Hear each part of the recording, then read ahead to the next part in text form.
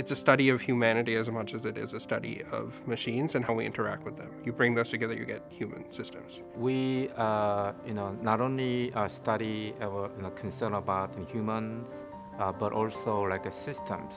I think more uh, the importantly, you know, the interaction between human and system uh, components. Yeah, human systems engineering is concerned about the, uh, you know, the how we you know, can or should design you know, systems and technologies that are uh, consistent with human limitations and capabilities.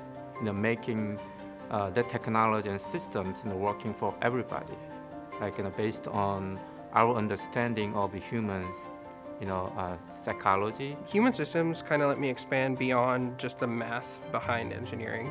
It kind of brought sociology and psychology into the mix which I thought is really important when understanding what I can do to make people's lives better. Understanding them on a deeper level than they understand themselves helps me find solutions they never knew they wanted.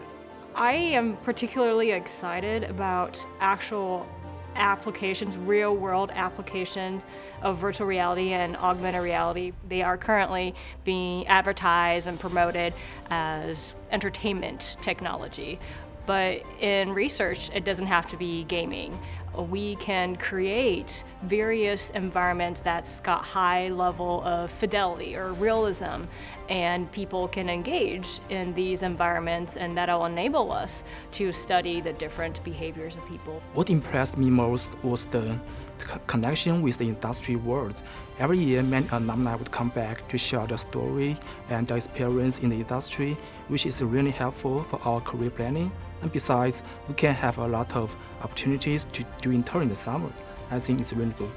I think you know our department you know always in the, the one of the top tens in, in, this country because we as a faculty you know have very you know a variety of like uh, the uh, knowledges and research interests which can also like benefit the you know student you know so that they can be exposed to many different kinds of research areas that can really benefit our society.